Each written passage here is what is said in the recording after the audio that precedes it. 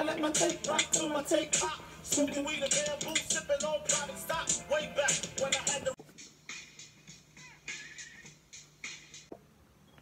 Hey guys, so I just want to do a quick video over just some of the foundations that I've tried and that I've liked and ones that I've tried that I didn't really like that much. Um, so a little background is my skin is super dry originally like by itself and then I've been doing some acne treatments um, and some acne cream so it's actually been even drier than say normal so it's like extra extra dry right now. Um, so when I, I just wanted to give that background because when I talk about certain foundations and how they were dry on my skin and didn't work, like that doesn't necessarily mean they won't work on your skin if you just have like a little bit of dryness or just normal. Mine's just extreme, extreme dry. So first thing I want to start off with is um, products that I've tried and that I love. So um, first um, I'm going to talk to you about this Josie Maran Vibrancy. I've talked about this a lot. Um, I'm not even sure, like I'll probably pronounce all these foundations wrong. I'm not sure how to pronounce them, but that's how I say it. Um, this is a good full coverage, so I like this a lot um, in the summer and in the winter, either one.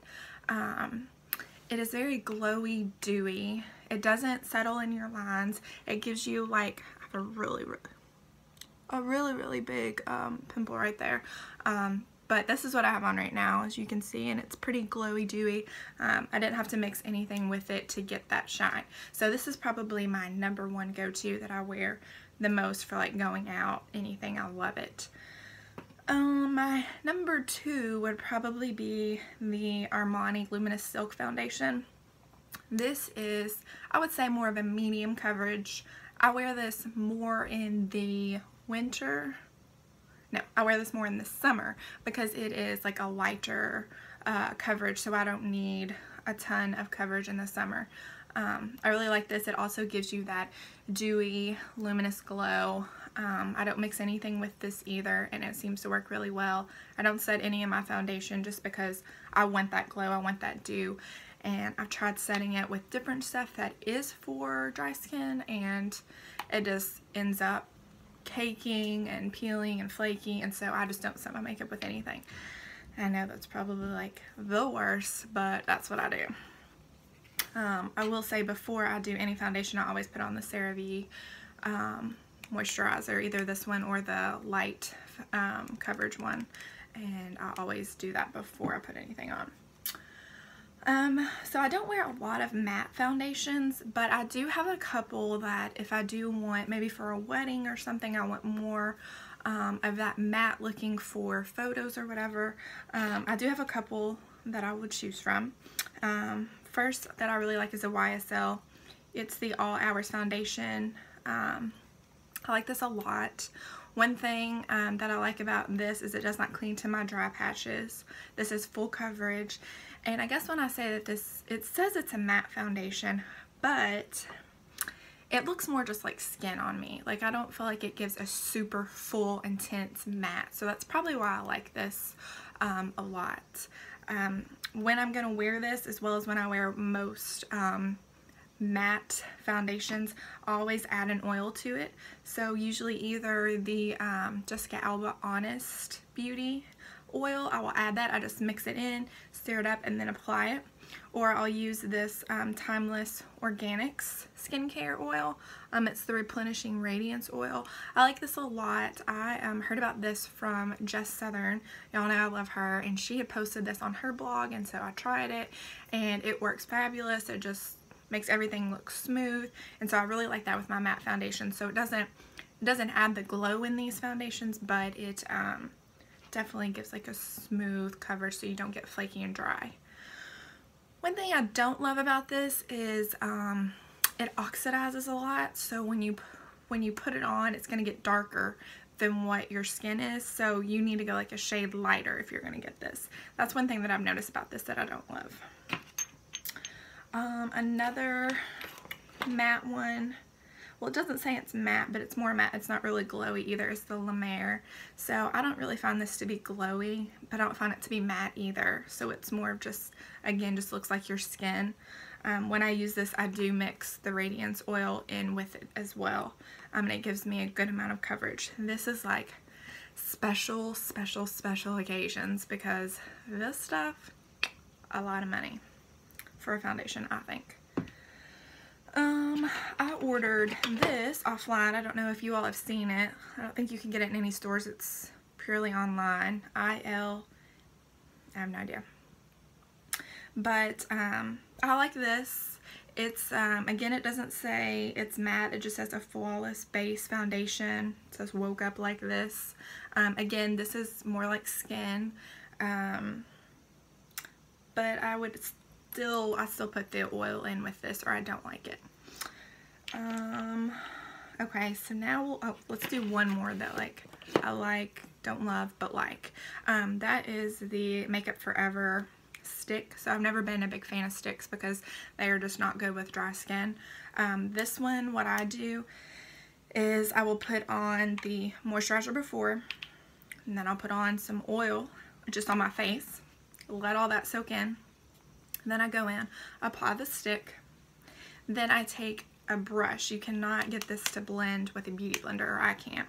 I get a brush, I spray it with, um, with the Smashbox Photo Finish Primer Water. I just spray my brush, brush with that, and then I buff it out pretty much. And that works pretty well. Um, so this is the one stick. This is, stick is supposed to be made for people with dry skin. Um, but if I use it by itself, I just, I don't like it. I'm very picky, but I just, I don't like it. Um, so now I'm going to do some that I hate. Okay. First up, I mean, people are going to die over this because these ones that I hate are like what I see all over Instagram. I mean, people love it. They just, they love them. Um, so probably gonna be a little surprised. First one is the IT Cosmetics. It looks like I've used a lot, but really, it just, these kind of tubes, they just start to suck in afterwards. But this is just the IT Cosmetics Your Skin But Better CC Cream.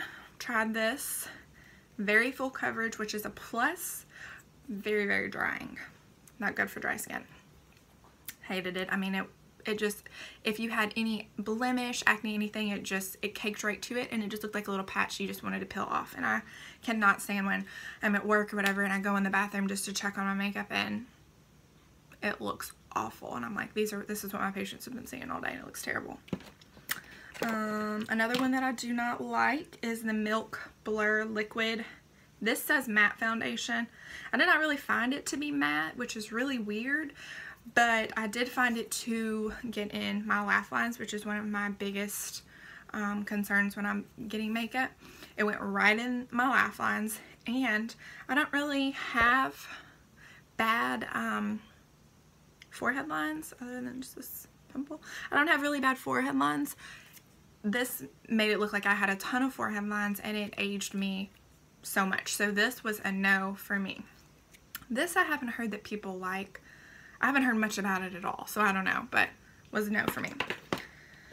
The next one, I see people use this all the time. Weddings, daily, people love it. I mean, they just go on and on about it. And I've tried it different ways with different primers, different moisturizers, oil, that you name it, I've tried it because people have just raved about this. I don't like it. It does not do well with my skin type. Are you ready? Okay. Estee Lauder Double Wear. It's a no for me. Um, don't like it at all. It's gets into every crease. It accentuates every blemish I have. It cakes to every dry patch I have, everything. This is going to show it, or shows it on me. I can't say that for everybody because so many people rave about this, so it has to be good.